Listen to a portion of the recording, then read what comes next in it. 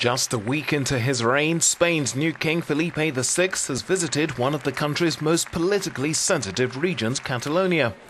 In his first speech, Felipe made reference to its growing separatist movement and his desire to spark dialogue and encourage national unity. Sentiments he shared again at a business award ceremony for a charitable foundation. I want to make this crown more visible in this land, he said, to transmit messages of respect understanding, and coexistence that, as I pointed out in my proclamation, are inseparable to our parliamentary monarchy.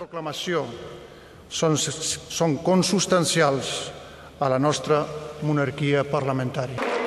Dialogue between parties in Catalonia and their national counterparts in Madrid has almost completely broken down over issues such as tackling corruption and increased transparency.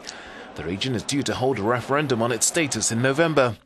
Meanwhile, in a bid to stem further damage to the royal family, Spain's parliament has passed a law protecting former King Juan Carlos from lawsuits in Spanish civil and criminal courts, including two paternity suits.